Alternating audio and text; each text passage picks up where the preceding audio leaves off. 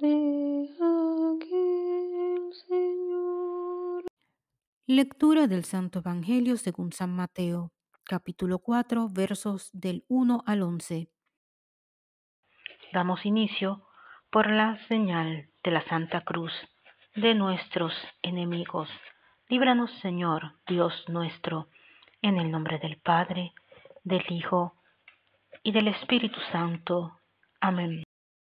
En aquel tiempo, Jesús fue llevado al desierto por el Espíritu para ser tentado por el diablo, y después de ayunar cuarenta días con sus cuarenta noches, al fin sintió hambre.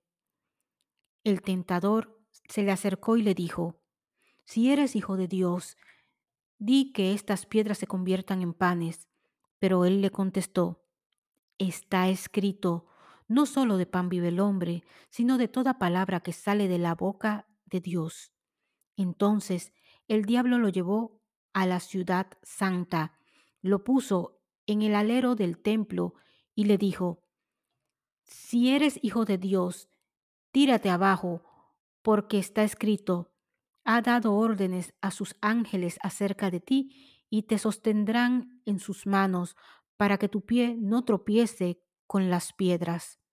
Jesús le dijo, también está escrito, no tentarás al Señor tu Dios. De nuevo el diablo lo llevó a un monte altísimo y le mostró los reinos del mundo y su gloria y le dijo, Todo esto te daré si te postras y me adoras. Entonces le dijo Jesús, Vete, Satanás, porque está escrito, al Señor tu Dios adorarás y a Él solo darás culto. Entonces lo dejó, y he aquí que se acercaron los ángeles y lo servían.